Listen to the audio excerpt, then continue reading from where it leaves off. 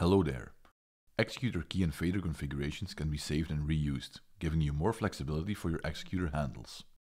To start, all configurations are stored in an executor configuration pool, which you can set up like any other window.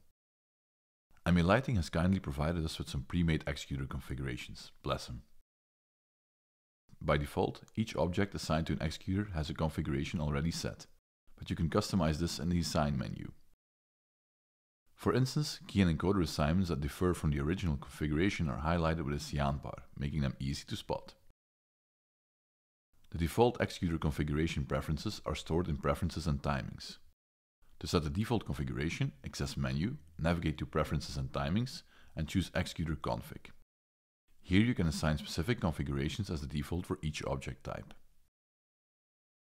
Within the Assign menu title bar, you'll see three options.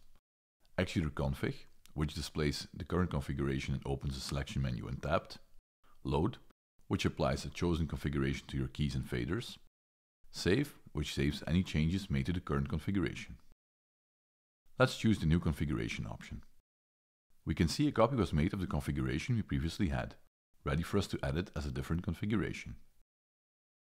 I would like to make an executor configuration where my key has the flash function and the fader is the master.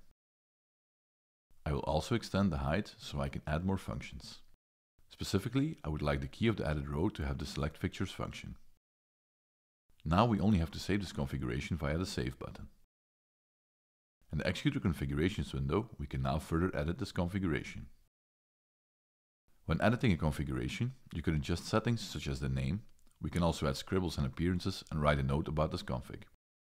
You can view dependencies and references by tapping List References. If you've updated a configuration that other executors also use, applying recastconfig will implement these updates across all relevant executors. Settings such as the handle's width, height and starting row allow you to fine-tune layouts for different rows if needed. Each configuration also has an exact config type defining the object type it applies to, accessible through a quick select pop-up. Let's assign the sequences for the other fixtures in the rig to executor row 200.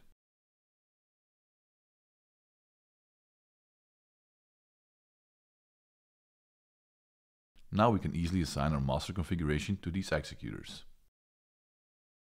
Let's make two other executor configurations. The first will be a temp button, because I want the key to respect the timing stored in the sequence. We will assign some sequences containing intensity, color values and an off time of 0.4 seconds to executor row 100, just below the sequences we have previously assigned. Via the Handle tab, choose a new executor configuration, set the key to temp and save this. Going back to the executor configurations pool, we can edit the label and settings. Now we only have to assign this configuration to all of the sequences and we are done.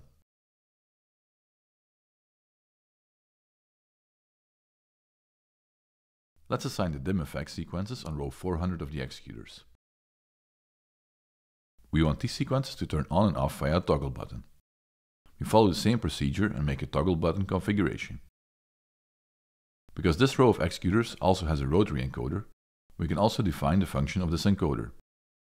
When the encoder is a master, turning left will decrease and turning right will increase the output. However, we can assign any key function to the rotary encoder turning left or the encoder turning right. It is even possible to write syntax in the encoder button for infinite custom applications. Using the MA button on your console acts as shift, enabling double functionality of the rotary encoder. For example, the rotary encoder might work as a normal intensity master, but when holding the MA key acts as a Go minus and a Go plus. A quick note here. Encoder commands work exclusively and independently of the default encoder function. So editing an encoder's function will reset any commands assigned to it, and vice versa.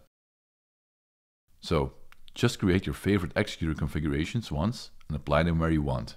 There's no need for repetitive tasks, only more time for creativity. Happy programming!